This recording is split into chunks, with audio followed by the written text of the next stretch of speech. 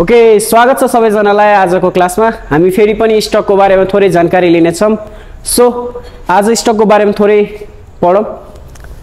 Stock is a flavourable liquid prepare by simmering bones from poultry seafood and vegetables in water stock is a foundation of continental cooking soup sauce and stew are made from stock stock भनेको चाहिँ एउटा flavour भएको liquid हो।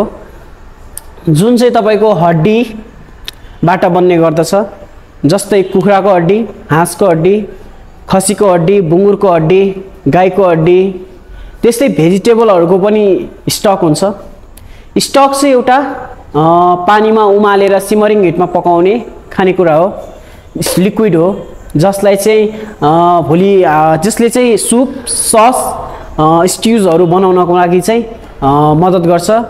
Soup sauce stock चाहिँ soup sauce र stew चाहिँ without stock बनाउन सकिँदैन। सो स्टक स्टक हामीले पहिला पनि पढिसकेका छौँ। स्टक के के चाहिन्छ बन्नको लागि? Bone mirepoix bouquet garni water so stock बन्नको लागि के के चाहिन्छ? बोन मिरोपुवा बुके गार्नी अनि वाटर अब यो स्टक बनाउँदाखेरि चाहिँ हरेक खानेकुरा बनाउँदाखेरि छुट्टा छुट्टै टाइम लाग्छ जस्तै यहाँनिर छ फिस चिकन पोर्क मटन अनि त्यसपछि बिफ अथवा भेल।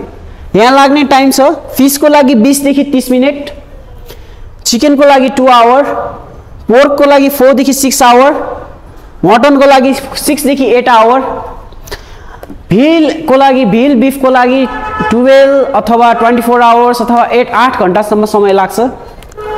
सो त्यस्तै हाम्रो मिरोपुवामा के के जान्छ त? अनियन क्यारोट सेलरी अब यसको रेसियो के हो त? थ्री टू वान मिरोपुवाको रेसिपी चाहिँ हाम्रो थ्री टू वानको रेसियोमा जान्छ। जस्तै अब तपाईँले चाहिँ स्टक बनाउँदै हुनुहुन्छ र त्यसमा चाहिँ तपाईँको ओनियन क्यारोट सेलेरी राख्नु पऱ्यो भने ओनियन तिन क्यारोट दुई र सेलरी एक भाग मात्रै राखिन्छ। त्यस्तै अब हाम्रो के छ? अर्को बुके गार्निक। सो बुके गार्नीमा चाहिँ हाम्रो हब्स एन्ड स्पाइसिस जान्छ। बन्स अफ हब्स एन्ड स्पाइसिसलाई चाहिँ बुके गार्नी भनिन्छ। सो यहाँनिर छ पास्ली बेलिफ अनि स्पाइसेसमा छ cinnamon stick clove peppercorn rosemary thyme oregano अनि त्यसमा छ हाम्रो लास्टमा वाटर अब मानौँ एक केजी बोनबाट चाहिँ तपाईँले चाहिँ स्टक बनाउँदै हुनुहुन्छ भने तपाईँलाई चाहिँ थ्री हन्ड्रेड ग्रामसम्म चाहिँ मिरोपुवा चाहिन्छ। अब यो थ्री हन्ड्रेड ग्रामसम्ममा मिरोपुवा चाहिन्छ भनेपछि हामीलाई कुन रेसियोमा चाहिँ मि मिरोपुवा चाहिन्छ होला त? One fifty one hundred fifty gram यो चाहिँ भयो हाम्रो स्टकको सर्ट डेफिनेसन यो चाहिँ भयो हाम्रो स्टक बनाउनको लागि आवश्यक पर्ने कुराहरू।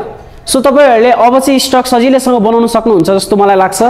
सो स्टक चाहिँ हाम्रो कन्टिनेन्टल खानामा अति नै आवश्यक छ। किन भन्दाखेरि स्टकबाट नै सस सुप र स्ट्युहरू बन्ने गर्छ।